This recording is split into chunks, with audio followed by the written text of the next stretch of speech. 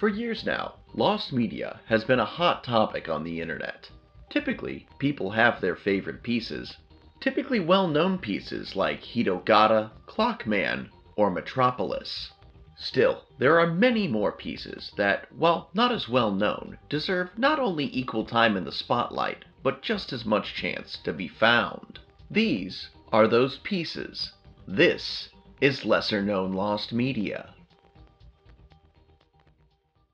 Welcome back to the channel, guys, and welcome to volume 51 of Lesser Known Lost Media. I hope you liked the new intro. To those of you who entered our giveaway for the 50th episode, the winners of that will be announced on the community tab later today. Also currently available to all of my YouTube channel members and Patreon patrons is the supercut of the not safe for work uh, first 50 entries. So there is that if you were thinking about joining the channel. If this is your first time with the series, lucky you, you have 50 more videos to watch after this one. You could be at that all day. We've been doing this for a while now. But how it works is we start with four pieces of more obscure lost media that you just don't hear about on YouTube all that often. We usually take a quick ad break. We won't be doing that this time as I'm kind of doing it right now. And then we go into our fifth and final spicy piece of lost media. So, without further ado, let's get going. At number one, we have Amadis de Gaula, Lost Chapters of Chivalric Romance Books from the 14th Century. Amadis de Gaula is a landmark medieval romance novel series from the Iberian Peninsula and the lead character of the said novel. In 1508, Spanish author Garcia Rodriguez de Montalvo published the 1508 edition of the books, having claimed to have corrected and amended the original. The original version of Amadis de Gaula may have been Portuguese in origin, consisted of parchment scrolls bound into leather covers, and may have dated as early as the 13th century. The three original unedited volumes of the Amadis saga are now lost, except for fragmentary remains in the Bancroft Library at the University of California, Berkeley. So yeah, a little bit of the history. Uh, Garcia Rodriguez de Montalvo uh, was in possession of three surviving volumes of the Amadis saga, which consisted of parchment scrolls bound into leather covers, as we said before. He altered many violent chapters and altered the original ending, in which Amadis is slain by his son, Esplandian, Instead, the saga ends with a double wedding in which both Amadis and his son marry their lady loves. This published version was enough of success of a success for Montalvo to write one final book in the saga.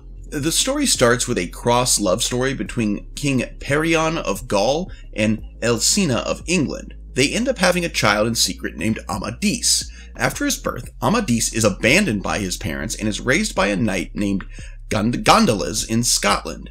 A wizard named Arcalius attempts to kill Amadis, but is protected by a priestess named Urganda la Descondia, who has gifted who has been gifted the ability of prophecy. That's a lot of weird foreign names I'm not good at. After overcoming the challenges in the enchanted Insola Firme, including passing through the Ark of Faithful Lovers, Amadis is knighted.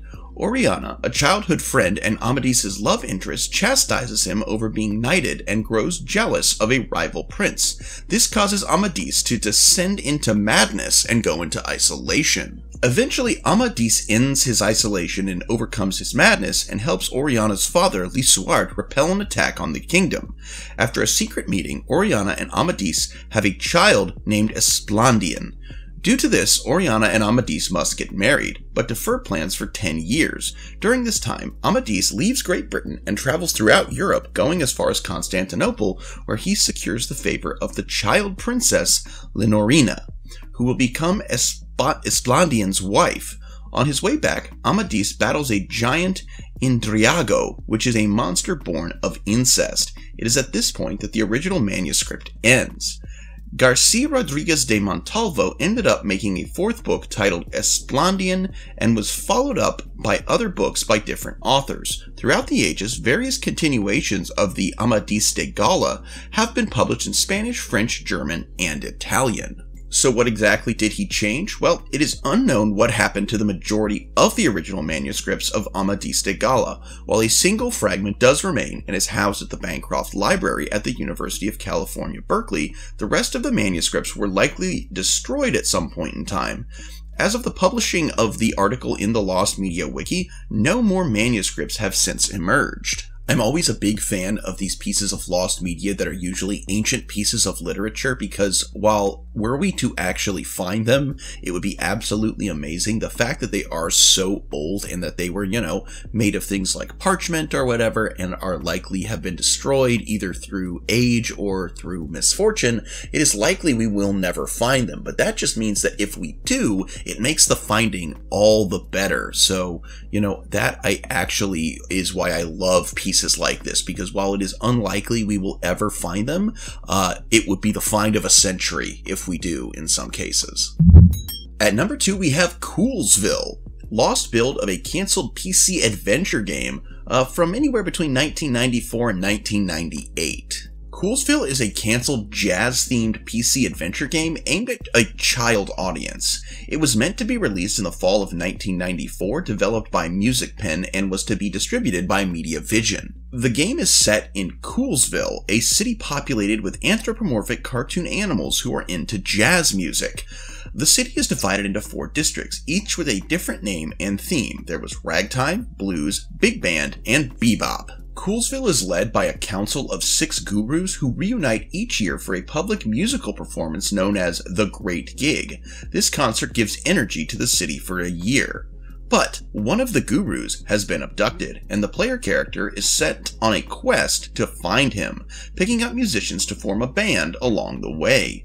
Now, several of the characters are parodies of famous jazz musicians and singers, such as Duck Ellington, based of course on Duke Ellington, and a talking yellow taxicab called Calloway, a pun on Cab Calloway. The idea for the game originally came from Brian Giardi, the art director of the project. Though it is often presumed to be an adventure game, it is also very probable to be more of an interactive educational game, like, uh, you know, Pajama Sam or Freddy Fish because the Music Pen Company mostly developed educational games, most of them being uh, from the Magic School Bus license. The copyright trademark for the game was registered as multimedia computer software containing information in the field of music. According to project manager Michael Dugan, it was an early attempt at a kind of virtual reality, sort of a animated history of soul music, and crossed over all other sorts of genres related to soul. Music Pen financed uh, the game themselves, and the art and animation was done by a large number of different artists and animators. The game was a pet project that had minor priority over mainstream titles, so development on it was erratic. Due to this, it is difficult to find specific information on what was being worked on. Unfortunately, Coolsville's release was cancelled after Mediavision was shut down. The only visual signs of, it, of its existence that have ever been made public are a few screenshots as shown in several magazines that were published before the game was cancelled. These screenshots seem to imply that the game may also have had a music creating gameplay feature, such as a uh, classic, as well as being a classic point and click adventure. No prototype demo or concrete version of the game has ever surfaced to this day. Back during development, the game had previews in French video game magazines Joystick and Gen 4, which gave very positive feedback, strongly implying that they played at least a prototype. According to project manager Michael Dugan, he was under the impression that there was a prototype made sometime after he departed the company. The game was also reportedly introduced at the 1994 Consumer Electronics Show in Chicago. Now, there is video footage and photographs of uh, this particular instance of Consumer Electronics Show that are still around, but there is no mention of Coolsville to be found anywhere in them as a 90s kid, I remember when point and click adventures were like really big. And uh, I mean, my sister even has a full on Freddy the Fish game. Uh, I think that was from early 2000s. Uh, but like the 90s, the early 2000s were big on these point and click adventure games. Uh, the thing about my sister's Freddy Fish game is it was actually given to her for getting a haircut at Great Clips, which I always thought was kind of funny. But the thing was, is that there was an oversaturated market, and especially if this was just a pet project, also be the whole jazz theme. I mean, kids have never really been all that into jazz. I feel like this one was put on the back burner, and if there is still a demo, it is probably a, a very rough uh, alpha uh, so to speak. I don't. Uh, this just seems like it did was not given the focus that it maybe should have been in order to get out and on time. And then, of course, when the company went belly up, uh, nobody picked it up. But you know, it sounds like a pretty cool idea, and I'd love it if we could at least find that demo, no matter how rough it might have been. It, I think it would still be pretty cool. One of the things I love about this series is being able to cover pieces of lost media from well-known properties that get overshadowed by more famous pieces from that same property. And to that end, we have Out to Lunch, partially found Sesame Street slash Electric Company crossover special from 1974. Now, if you're at all a fan of Lost Media and Sesame Street, you probably are well aware of things like Crackmaster, Snuffy's parents get divorced, or The Wicked Witch visits Sesame Street. But there was another piece of Lost Media that, until uh, researching this video, I'd never heard of and that is Out to Lunch, which uh, aired as a primetime special on ABC on December 10th of 1974. It mixed the Sesame Street and the Electric Company casts, along with guest stars Elliott Gould, Barbara Eden, and Carol Burnett. The production was jointly produced by Henson Associates, Children's Television Workshop, and ABC. The premise of the show was that the ABC newscasters had all gone out to lunch, and it was up to the Electric Company cast and the Muppets to make up an hour of programming. It has never been released on home video, and it is unknown if anyone has a copy of since uh, Out to Lunch came out shortly before the Betamax, which was the first commercially released home recording device, was released. And the U-Matic was very expensive, and consequently, it was extremely rare to find someone who owned a U-Matic recorder. An audio recording of the song We're in Charge has circulated, and some clips have been shown at a Sesame Street crew party. In addition, some clips were showcased on YouTube during its early days around 2005 to 2006, but this was before anyone knew how to download YouTube videos, and they have not resurfaced since then, aside from clips of two other Sesame Street slash Electric Company crossovers, uh, irrelevant to Out to Lunch, that still survive on YouTube today. On June 18, 2019, Muppet Wiki co-founder Scarecrow, aka Scott Hanson, posted HD screenshots of the special on their Muppet Wiki page and said, Special, and was subsequently reviewed by Tough Pigs co-owner Joe Hennes a few days later. This shows that it was is likely still being maintained in ABC's archives, and while Hanson and Hennes have this copy of the special, they cannot release it out of legal concerns and restrictions.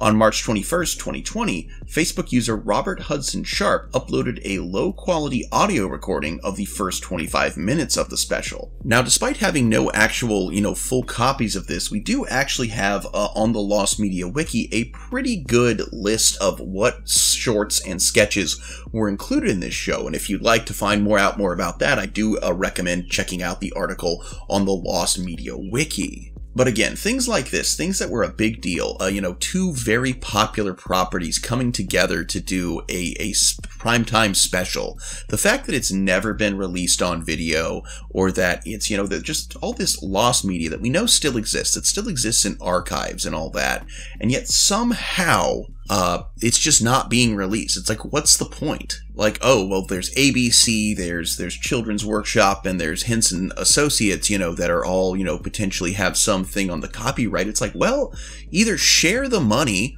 or just donate it all to charity and release it to the public, you know? It's like, don't don't be greedy. Just let people see this stuff it's always sad when lost media becomes lost due to uh, destruction. You know, it's it's like, oh, it, it sucks, but uh, you know, what can you do? Nobody expected this to become destroyed. But it's worse when it's lost out of greed.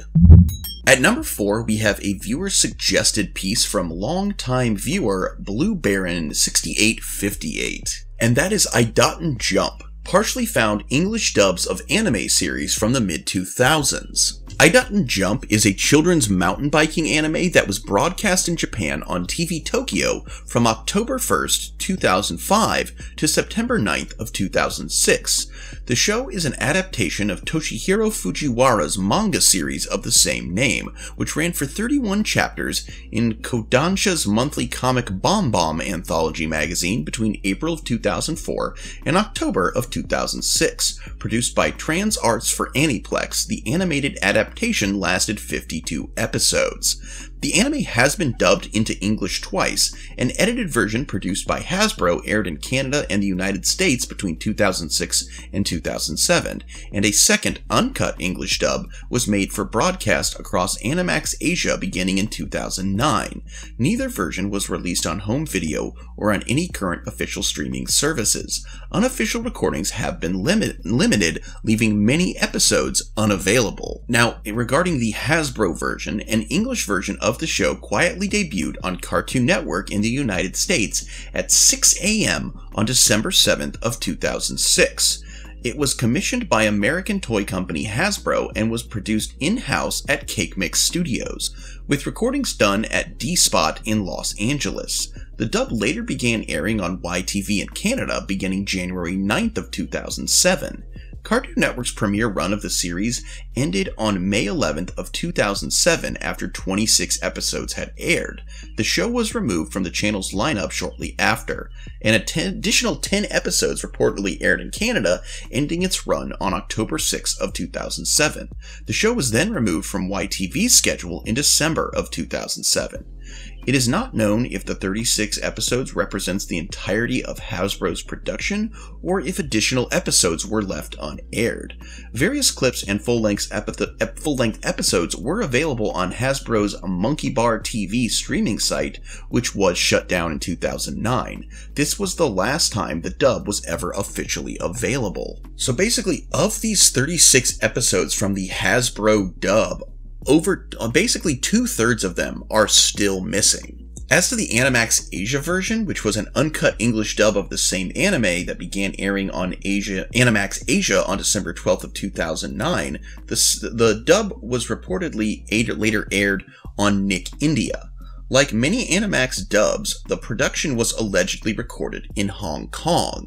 There used to be 22 clips of the dub uploaded by Media Archive fan group ATTKC in 2017, but those links are no longer available, making the Animax dub at the moment completely lost. Now, this one is interesting to me for a couple reasons. One, it just seems like this is lost due to, at the time, it not being, you know, the American audiences weren't ready for an anime about mountain biking. At the time, anime was still kind of in its infancy in America. We were we were into our Pokemons, our Sailor Moons, our Dragon Ball Zs. There just wasn't a lot of room for something as mundane as we're going to be doing mountain biking. The other part that I find funny is that this Japanese show made for an English audience was sneakily, if you will, quietly released uh, early morning on December 7th of 2006, which there's a weird parallel to be made between another sneak attack made by the nation of Japan on American soil in the early morning of December 7th on 1941, a sneak attack that was, uh, to be honest, a lot more successful than this anime. Please don't cancel me. Am I canceled yet? No, it's been over 22.3 years, we should be fine. Hey guys, here's the part where I'd normally have an ad break where I try to sell you some stuff, but honestly, I just want to say thank you so much for staying with this series and for helping us get to through our first 50 episodes, and uh, here's to 50 more. So, uh, without further ado, let's get to that fifth spicy piece of Lost Media. Today's spicy piece is The Fabulous Fanny, a lost Lee Frost sex comedy from 1975. The Fabulous Fanny, or its working title, The Coming of Seymour, is a 1975 sex comedy film that was directed by Lee Frost and produced by Wes Bishop. It starred Alan Spitz, Murphy Cross, Diane Summerfield, and Connie Marie. The film is a sequel to The Boob Tube, and the runtime of the film is 87 minutes. The plot of the film is as follows. A couple goes to an X-rated motel and becomes involved with the zany story they are watching on X-rated TV. It is about a voluptuous cartoon character named Fanny, who dominates the daydreams of young Seymour. It is this sexual obsession with a fictitious character that stands in the way of his siring a child that will enable him to inherit the family fortune. Seymour thoroughly enjoys his attempts to impregnate as many beautiful women as possible, but each time he is unable to reach that million dollar climax.